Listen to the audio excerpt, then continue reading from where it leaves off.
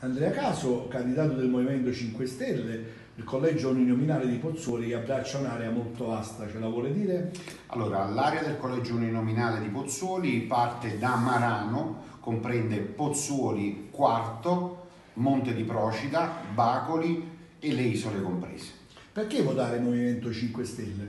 Allora, votare Movimento 5 Stelle significa votare per la credibilità, che è quello che in questi anni ci ha contraddistinto perché tutto ciò che noi abbiamo promesso abbiamo mantenuto, a differenza degli altri che in vent'anni non hanno raggiunto e non hanno promesso, non hanno mantenuto le loro promesse. Nel corso del suo tour elettorale per i vari comuni, il, il collegio avrà trovato sicuramente tanto valore, c'è un, un comune in particolare dove eh, diciamo, ha trovato molto entusiasmo.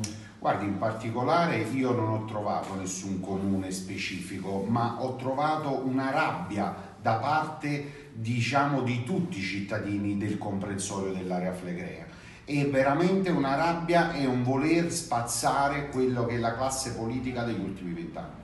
Senta, eh, nel, all'uninominale si, si vince per un voto in più rispetto all'avversario. Ecco, qual è l'avversario più ostico del suo collegio? Beh, guardi, non c'è nessun avversario in particolare, è una partita aperta fino all'ultimo minuto.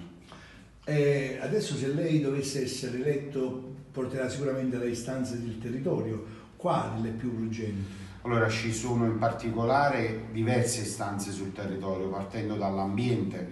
Eh, per anni abbiamo lottato per questo tema sul territorio, non c'è più una politica credibile e una politica che ascolti le istanze effettive dei cittadini. Viviamo in una città che è allo sbaraglio, dove non ci sono più servizi. Lei si riferisce a Marano in particolare? Io in particolare sì, mi riferisco a Marano.